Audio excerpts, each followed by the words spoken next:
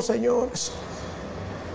Yo le digo que fue un programa tinto en sangre el que me trajeron hoy aquí a, esta mesa. Y yo lo que tengo que hacer es informar lo que está pasando. Sí, porque si el caso llegó aquí, nosotros lo vamos a difundir. Imagínese usted cómo nosotros vamos a estar eh, callando los casos.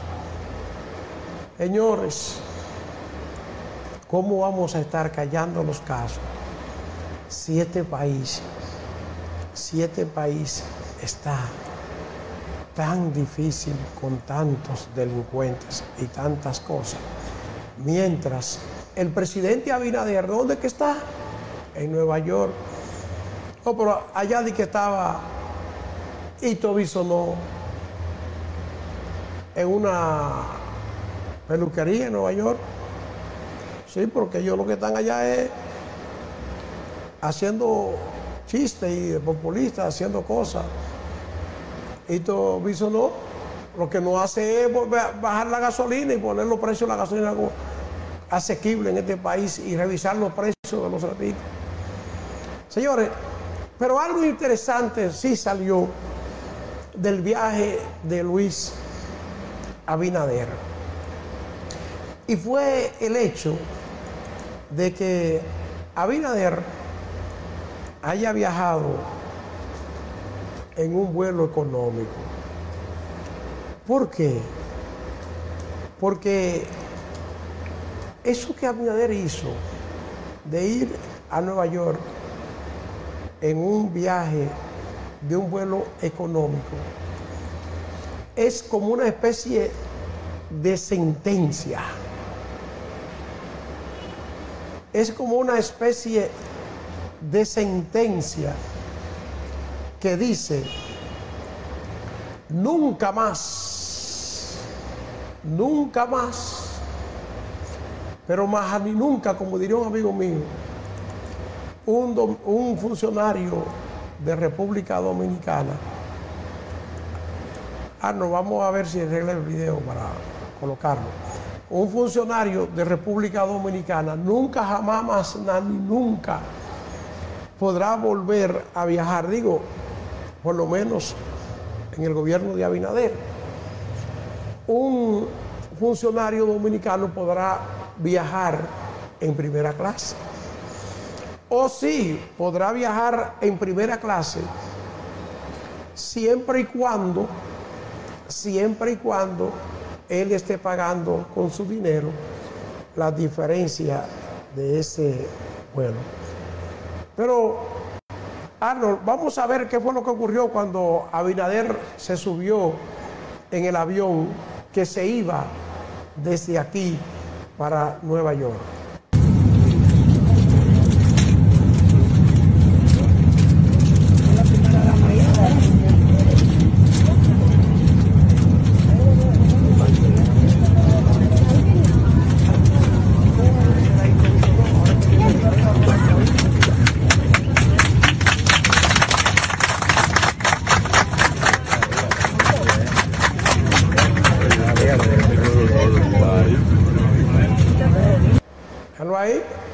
Abinader en ese vuelo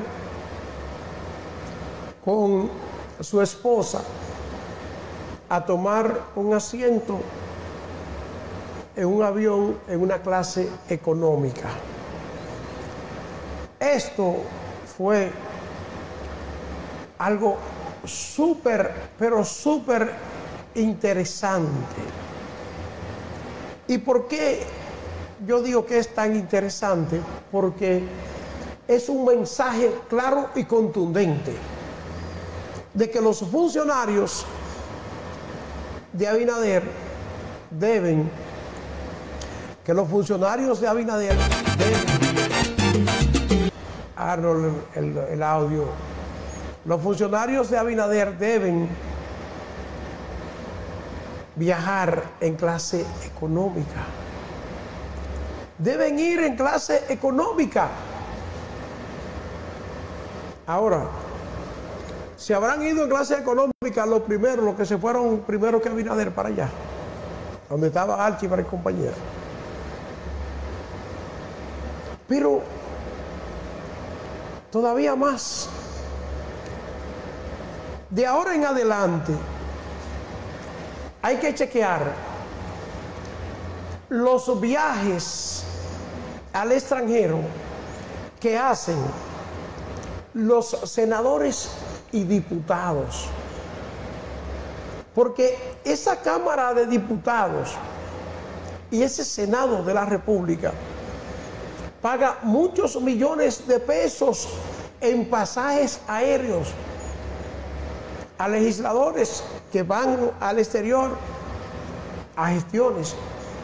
Pero van a seguir en el Congreso pagándole vuelos en primera clase a los diputados y senadores o en lo adelante también los diputados y senadores van a hacer lo que hizo el presidente y van a viajar en clase económica.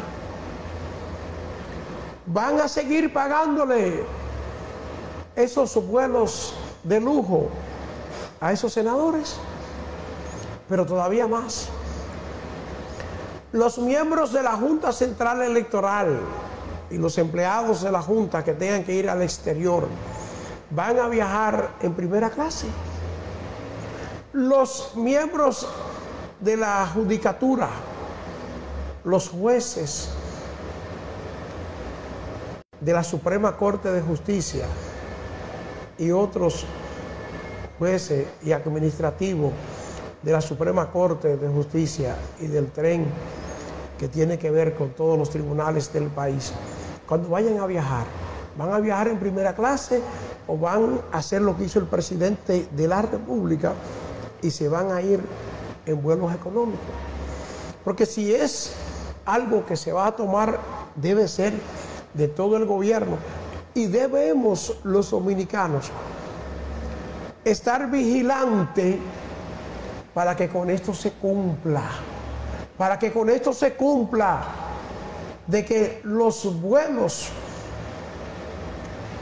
de primera clase hayan pasado en el gobierno, porque así sí es bueno viajar en primera clase pagándolo el, gobierno, ¿verdad?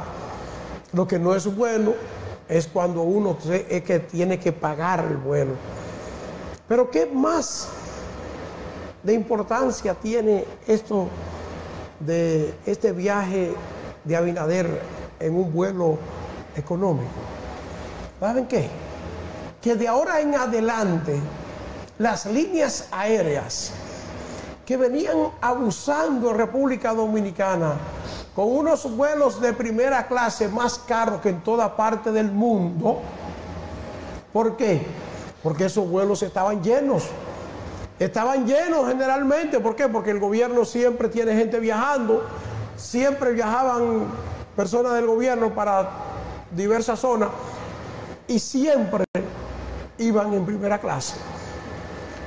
Entonces, ahora, al reducir esos vuelos de primera clase del gobierno, las líneas aéreas van a tener que estar viajando con los asientos de primera clase vacíos.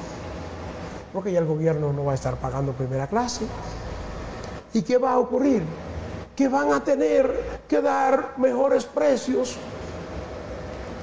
en los vuelos de primera clase que van a tener que dar mejores precios y la gente que quiera utilizar ese servicio pagando su dinero, porque si usted es que va a pagar su vuelo, usted lo puede pagar donde usted quiera, porque con su dinero usted lo va a pagar ahora, si es con el dinero del Estado, es como dijo Abinader, correcto, que se vaya en un vuelo económico.